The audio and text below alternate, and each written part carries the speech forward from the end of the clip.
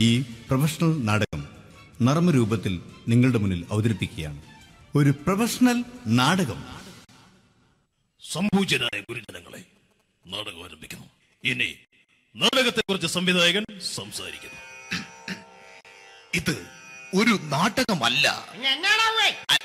നാടകം തന്നെ നിങ്ങളേവരുടെയും അനുഗ്രഹാശിസുകളോടെ നാടകം ആരംഭിക്കുന്നു. ഇതെന്റെ വിധി നിങ്ങളുടെയും.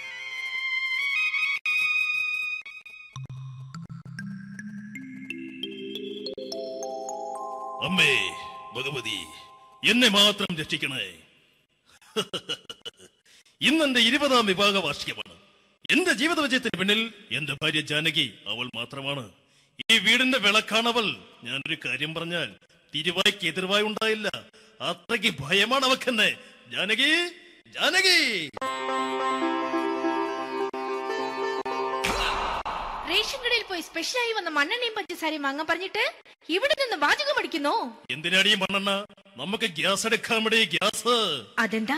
ഇപ്പോഴങ്ങനെ തോന്നാൻ? നീ കുടുംബത്തിന്റെ വിളക്കല്ലേ? നീ അടുക്കളയിൽ നിന്ന് കത്തുന്നത് എനിക്ക് കാണണം. നിങ്ങൾ അറിഞ്ഞു മനുഷ്യ ഏഴു വർഷങ്ങൾക്ക് ശേഷം സൗദാമിനിയുടെ കെട്ടിയോ ഗൾഫിൽ നിന്ന് വന്നു. അമ്മേ. അതിന് നിങ്ങൾ എന്തിനാ ഞെട്ടിയത്? ജാനു അത്താഴം മുടങ്ങിയവന്റെ വിഷമം ഊണ് തരാത്തവൾക്ക് അറിയില്ലടി.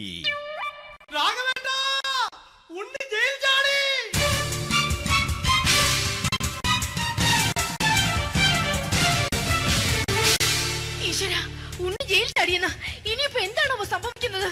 വെട്ടൊന്ന് മുറി രണ്ടെന്ന പ്രകൃതക്കാരനാണ് അവൻ? നീ എന്നെ ഭയപ്പെടുത്താൻ നോക്കണ്ടടി. ഞാനും കരയിൽ തന്നെയാടി നിൽക്കുന്നത്. ജാനകി പറ എവിടെയാടി ഞാൻ പോയി ഒന്ന് ഒളിച്ചിരിക്കുന്നത്?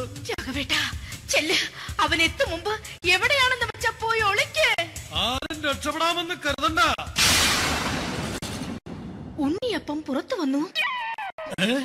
അതല്ല ഉണ്ണിയപ്പം പുറത്തു വന്നൂന്ന്? ഇന്നലെ അർദ്ധരാത്രി കണ്ണൂർ സെൻട്രിയലിന്റെ ഉയരം കൂടിയ മതിലുകളിൽ ചാടിക്കിടന്ന് ഈ ഉണ്ണി എത്തിയിരിക്കുന്നു. എന്തിന്? നിന്നോട് കണക്ക് തീർക്കാൻ. ഉണ്ണി മോനെ അരുത്. അദ്ദേഹം അറിവില്ലാതെ എന്തെങ്കിലും ചെയ്തു പോയിട്ടുണ്ടെങ്കിൽ നീ അത് ക്ഷമിക്കണം. മാറി നിൽക്കടി. ഞാനില്ലാത്ത സമയത്ത് നീ എന്താ വീട്ടിൽ പോയിരുന്നു അല്ലേ? ഉണ്ണി ഞാൻ. വേണ്ട. പഴയ കണക്കൊന്നും ബാക്കി വെക്കുന്നവനല്ല ഈ ഉണ്ണി. ഉണ്ണി അരുത്. മോനെ ഉണ്ണി.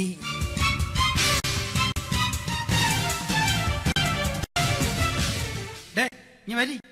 ഞാൻ ജയിലിൽ കിടന്നപ്പോ നീ എന്റെ ഭാര്യയുടെ അടുത്ത് ചെന്ന് അവക്ക് അരി മേടിക്കാൻ കൊടുത്തു നൂറ്റമ്പത് റുപ്യ. ഞാൻ ജയിലിൽ പോണതിന് മുമ്പ് നമ്മൾ ഷെയർ ഇട്ട് അടിച്ച മുന്നൂറ്റമ്പത് റുപ്യ. മൊത്തം അഞ്ഞൂറ് രൂപ. ഞാൻ പിടി? കഴിഞ്ഞ ഞാൻ ഞാൻ കണക്ക് പറഞ്ഞ് വരലേട്ടെ കണക്ക് തീർന്ന്. പോട്ടെ അച്ചി പോട്ടെ അണ്ണ. വൃത്തികെട്ടവൻ വെറുതെ എന്നെ കൊതിപ്പിച്ചു കളഞ്ഞു. ആ ജാനകി വല്ലാത്ത വിശപ്പ്. നീ ചെന്ന് കഞ്ഞി എടുത്തു വെക്ക്. ആ ശരി. ഞാൻ പുറത്തു പോയി വല്ലതും കഴിച്ചിട്ട് വരാം. കല്യാണി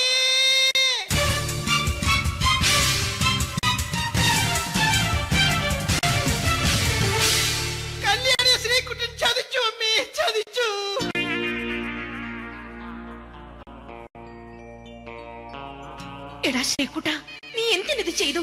മോളെ നീ കരയാതെ. ചന്ദ്രേട്ടൻ കല്യാണിയെ കൈവിടില്ല മോളെ വിടില്ല. നിർത്തടി. ആരാടി കല്യാണി? ആരാടി ഈ ശ്രീകുട്ടൻ? പുതിയതായി തുടങ്ങിയ സീരിയലിലെ നായകനും നായികയും അണച്ച സീരിയൽ സീരിയൽ സീരിയൽ. സീരിയൽ എന്നൊരു വാക്ക് ഇനി ഈ വീട്ടിൽ മിണ്ടിപ്പോകരുത്.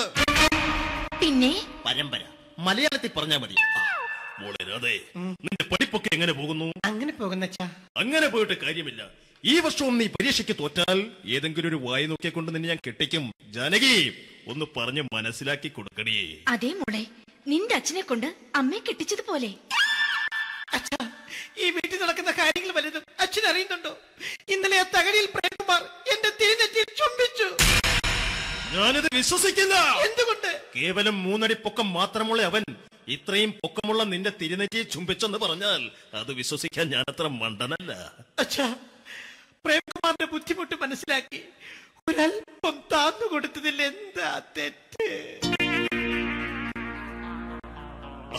മോളെ ഇത്രയ്ക്കായ സ്ഥിതിക്ക് എത്രയും പെട്ടെന്ന് നിന്റെ കല്യാണം നടത്താൻ ഞാൻ തീരുമാനിച്ചു. ഏതായാലും ആ ജാതകം കണിയാരെ വിളിച്ച് ഇവിടെ മോദകം ഒന്ന് കാണിക്കണം.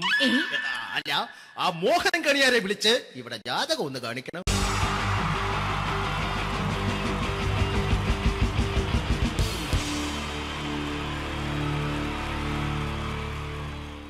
മലയാള സിനിമയിലെ ആദ്യത്തെ ആക്ഷൻ സൂപ്പർ സ്റ്റാർ ആരാ? ജയൻ. പറയേ. ജയൻ. അദ്ദേഹത്തെ ഇമിറ്റേറ്റ് ചെയ്തുകൊണ്ട് രണ്ട് താരം കൂടി മലയാള സിനിമയിലെത്തി. ഇത് ആ രണ്ട് താരത്തിനോട്. അത് ഒന്ന് ഭീമൻ രഘു ഒന്ന് ജഗദീഷ്. ജഗദീഷ് സാർ അപ്പൊ ഇവർ രണ്ടുപേരോടും ഞാൻ പറഞ്ഞു ജയനെ ഇമിറ്റേറ്റ് ചെയ്തുകൊണ്ടാണ് നിങ്ങൾ രണ്ടുപേരും സിനിമയിലെത്തിയെന്ന് പറഞ്ഞപ്പോൾ അവർ തർക്കിച്ചു. ഇല്ല ഒരിക്കലും ഇല്ല എന്ന് പറഞ്ഞു. ഞാനത് പ്രൂവ് ചെയ്ത് കൊടുത്തു. അത് ഇപ്രകാരമാണ്. ആദ്യം ജയന്റെ സംഭാഷണത്തിലേക്ക് കടക്കാം. അതിനുശേഷം ആക്ഷൻ ഞാൻ കാണിക്കുന്നത് ആക്ഷനാണ് ആദ്യം ജയന്റെ സംഭാഷണം. അവിടെ നിൽക്കും. അവിടെ നിൽക്കും. പുള്ളി ഇമിറ്റേറ്റ് ചെയ്യാൻ വളരെ ഈസിയാണ് ചൂയിങ് എടുത്താൽ നന്നായിട്ട് ചവയ്ക്കുക അപ്പൊ കറക്റ്റ് ജയനായി വീട്ടിൽ പോടാ. എടാ വീട്ടിൽ പോകാൻ ഇങ്ങനെ ഇടയ്ക്കിടയ്ക്ക് ചവച്ച് തുപ്പിയാൽ മതി. ഇനി ഭീമന്റെ ഊരിന്റെ ശബ്ദം.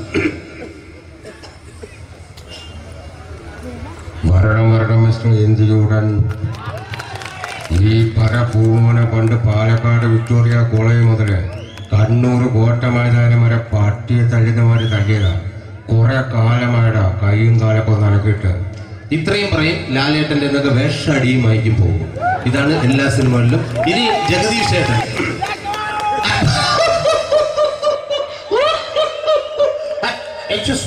ചേട്ടൻ കാര്യമായിട്ട് പറഞ്ഞതാണോ? എനിക്കിട്ടൊന്ന് താങ്ങിയതാണോ?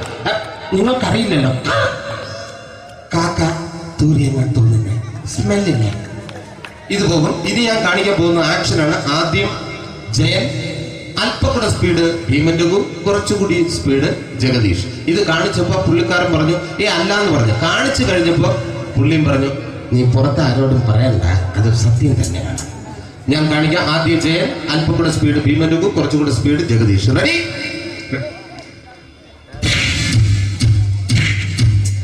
കുട്ടികൾക്ക് വളരെ പ്രിയങ്കരനായ ആ മജീഷ്യൻ മുരുകാടിന്റെ ശബ്ദം നമുക്കൊന്ന് കേൾക്കാം.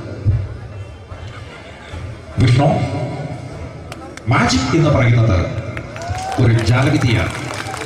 റൈറ്റ് വിഷ്ണു അങ്കിളിന്റെ കയ്യിലേക്ക് നോക്കുക. അങ്കിളിന്റെ കയ്യിൽ പത്ത് രൂപ പോലുമില്ല. റൈറ്റ് വേണിച്ചേട്ടന്റെ പോക്കറ്റിൽ ഒരു പത്ത് രൂപ ഇത് അങ്കിൾ വന്നപ്പോഴേ നോട്ടമിട്ടിരുന്നു വിഷ്ണുവിന്റെ പോക്കറ്റിൽ ഒരു നൂറ് രൂപയുമുണ്ട്. ഇതും അങ്കിൾ നോട്ടമിട്ടിരുന്നു ഇനിയാണെങ്കിൽ മാജിക് കാണിക്കാൻ പോകുന്നത്. അങ്കിൾ ഒന്ന് രണ്ട് തുടങ്ങി പത്ത് വരെ എണ്ണുമ്പോഴേക്കും ഈ രണ്ട് നോട്ടും അടിച്ചു മാറ്റി അങ്കിളിന്റെ കീശയിലാക്കിയിരിക്കും. എന്നിട്ട് ഈ ഫ്ലോർ വിട്ട് ഓടിപ്പോയി പുട്ടും മുട്ടയും കഴിക്കും. ദിസ് ഇസ് മാജിക് മാജിക് എന്ന് പറഞ്ഞാൽ ഒരു അടിച്ചു മാറ്റി പ്രക്രിയയാണ്. താങ്ക് യു പ്രേമൻ തിരുവനന്തപുരത്തുകാരനാണ്. അദ്ദേഹത്തിന് വേറൊരു ശൈലിയാണ്. ഏത് ഡയലോഗ് പറഞ്ഞാലും താല്പര്യമില്ലാത്ത രീതിയിലായിരിക്കും ഡയലോഗ് ഡെലിവറി ഇപ്പൊ ലൊക്കേഷനിലൊക്കെ വെച്ചിട്ട് ചേട്ടാ ഇന്ന് നല്ല ബിരിയാണി ഉണ്ട്. നിങ്ങൾക്ക് പത്ത് ലക്ഷം രൂപ ലോട്ടറി അടിച്ചത് കേട്ടല്ലോ. അങ്ങനെ താല്പര്യമില്ലാത്ത രീതിയിൽ ഡയലോഗ് പറഞ്ഞാൽ കറക്റ്റ് പ്രേമൻ ചേട്ടനാവും. പക്ഷേ ആ വട്ടിയോട്ടുള്ള ഏർപ്പാട് അത്ര ശരിയായില്ല കേട്ടോ. വട്ടിയുണ്ട് സൂക്ഷിക്കുക എന്ന ബോർഡ് വയ്ക്കുന്ന പോലെ ഇവിടെ കൊണ്ടുപറഞ്ഞത് കുട്ടികളുണ്ട്. എന്ന് കൂടി എഴുതി വയ്ക്കുന്നത് വളരെ നന്നായിരിക്കും. എന്നാ പിന്നെ ഞാൻ അങ്ങോട്ട് ബിന്ദു റെഡി എടാ അശോക എനിക്ക് നിന്നോട് ഒരുപാട് കാര്യങ്ങൾ പറയാനുണ്ട്. പണ്ട് ഞാൻ കോളേജിൽ പഠിക്കുമ്പോ എനിക്കായിരുന്നു ക്ലാസ്സിൽ ഫസ്റ്റ് പക്ഷെ റിസൾട്ട് വന്നപ്പോ ഞാൻ തോറ്റു. അതെങ്ങനെ? അവറ്റകൾക്ക് എന്നോട് സ്നേഹമില്ലല്ലോ. தேங்க்யூ பிரகாஷ் ராஜ் நான் ஆட மாட்டேன் நான் ஆட மாட்டேன் நான் ஆட மாட்டேன் சாப்பிடணும் சொல்றேன் எழுந்து தீர்த்துக்கிட்ட எனக்கு யானை பண்றேன் இந்த திருப்பிச்ச போட்டோ பண்ணி பொத்தவங்க ஒரு கம்ப்யூட்டர் பண்ண கையில் வச்சு எனக்கு எனக்கு வேணா இவரோட கூட தோட குடும்பத்தின் அத்தனை தான் அடிக்கிற சாவு பண்ணி துணிக்க தப்பிச்சுக்கிறான் ചെല്ലോ ആര് thank you Shri Janardhana villain കഥാപാത്രമായപ്പോ പുള്ളിയുടെ ശബ്ദം. നല്ല നല്ല ഏട്ടപ്പെട്ട കർത്താവ്. ഇട ഈ സ്വീകരിക്കാരുടെ പറഞ്ഞ മഹാശബ്ദങ്ങള ഇപ്പോ കൊമേഡിയൻ ആയപ്പോ ശബ്ദത്തിന് ഒരുപാട് രൂപാന്തരം പ്രാപിച്ചു. കൊമേഡിയൻ ആയപ്പോ ഉള്ള ശബ്ദം വേറെയാണ്. ഓ പിടികിട്ടി പിടികിട്ടി. Ira, tirta, capanara.